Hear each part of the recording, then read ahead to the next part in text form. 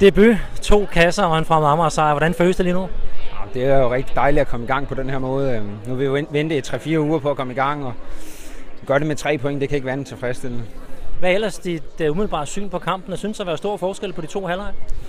Ja, ja, og egentlig også de to hold, når det er, vi gør det, vi har fået besked på, når vi følger vores oplæg, øh, så synes jeg, vi er bedre end øh, Nykøbing Falster er. Men øh, man kan også se, lige snart vi ikke holder os til vores koncept, og lige snart vi begynder at spille en lille smule fabrilsk og, og prøve at forsere spillet, så er Nykøbing Falster lige så god, som vi er. Så, så det er jo en læring, vi skal tage med til de videre kampe.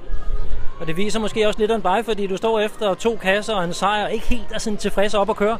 Nej, men altså det vigtigste er pointene her til at starte med. Det, det kan der ikke være nogen tvivl om, men, øh, men vi har stadig lang vej igen. Det, det, øh, det, var, det var godt med de tre point i dag, men, men spillet kan forbedres. Vi skal holde os endnu bedre til, til konceptet, og så dominere endnu mere gennem hele kampen. Hvor meget ser du i det her fra Amager hold? Men Jeg ser stort potentiale. Som sagt, vi lige startede, vi har gang i tre uger, og det vi gør i perioder i dag er, er rigtig, rigtig høj klasse. Og hvis vi kan fortsætte de dyder at bygge på, så kommer vi til at være rigtig farlige for mange holdene i, her i anden division.